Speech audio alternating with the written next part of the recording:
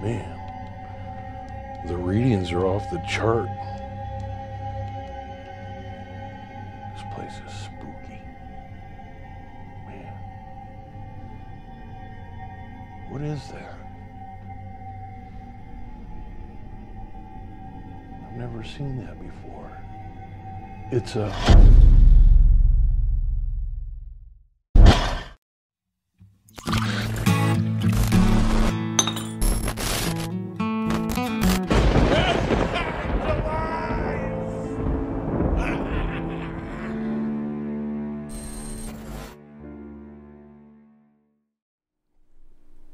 Hey, it's an exciting day. Check out what came.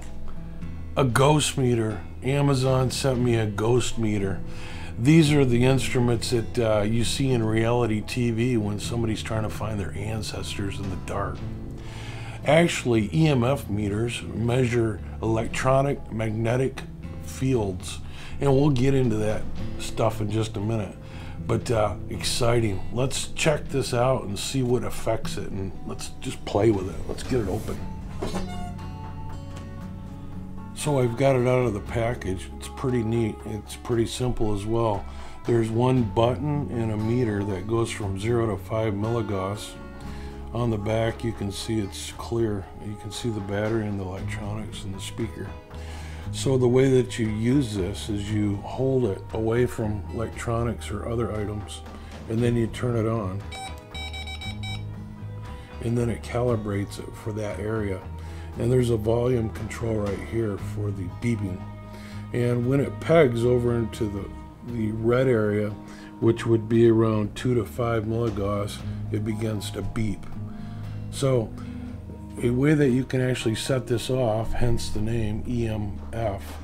Electrical will set it off. This is a UPS power supply that emits quite a bit of EMF. So let's put it near it. So you can see that the closer I get, the more it reacts. Because this is emitting EMF. Manufacturers of electronics try to reduce EMF because it can interfere with radio frequencies and cell phones and that sort of thing. But uh, some items, especially older items, do emit EMF because strict regulations weren't in effect in the early years. As well as the electrical, also magnets. This is a magnet out of a speaker So it's both magnetic as well as electrical, and that's how this thing works. Pretty simple, really. Let's take our tester and check some stuff. Here we are at the video editing computer. Let's see what happens. Yep. That really emits a lot. What about this Dell monitor? No nothing. Something that will probably really set this off is my fuse box. Let's go try that. Here we are at my fuse box. Let's see what happens. Oh yeah, it's going nuts. Look at that. So yeah, some older homes will have more uh, EMF than newer ones. And that has to do with the, the way that the cable is shielded and many other variables. So yeah. Playing with this EMF meter has been a lot of fun. While I don't know if it can find spirits, it was a lot of fun to learn about EMFs. You know, during the holiday season of Halloween, I like it especially because there's some really weird, unusual gadgets that you can't find any other time of year. I mean, it's like this pet bat. Where else can you find a pet bat except for in October? And so that's why I like Halloween.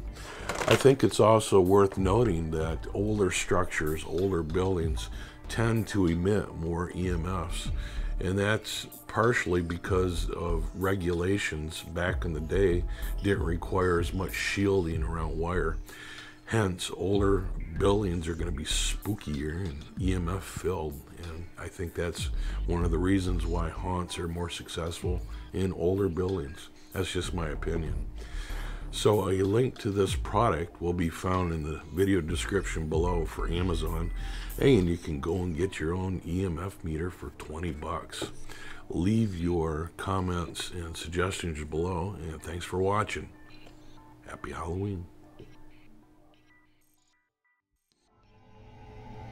I want to remove this mask and see who the villain is. Shadow, you scared me